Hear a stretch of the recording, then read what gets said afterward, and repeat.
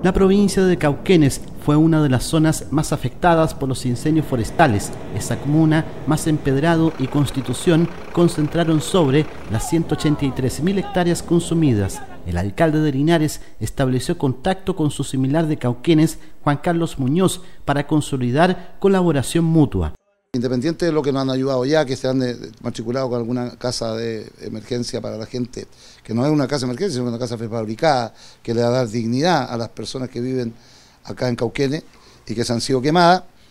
Aparte de ello, la ayuda que le están ofreciendo a Mario en, en y a su consejo municipal y a él en lo personal, eh, la quiere canalizar por intermedio de un convenio con la municipalidad de Cauquenes. O sea, estamos hablando de una ayuda grande, grande, digamos. A través de este convenio de colaboración mutua nosotros vamos a poner a disposición no solamente maquinaria municipal, personal municipal, mucha de la ayuda que nos está llegando en el caso de Linares, que gracias a Dios no tuvimos el desastre que ha tenido Cauquenes, la queremos canalizar con las comunas que son amigas, las comunas aledañas y particularmente las comunas que han sufrido este devastador incendio que lamentablemente el gobierno no, no se ha hecho cargo en su integridad. Ya lo decía el alcalde Muñoz, la ayuda ha sido más bien de los alcaldes amigos. Similar recorrido se realizó en Peyúgue, comuna con la cual se quieren fortalecer espacios de trabajo en conjunto.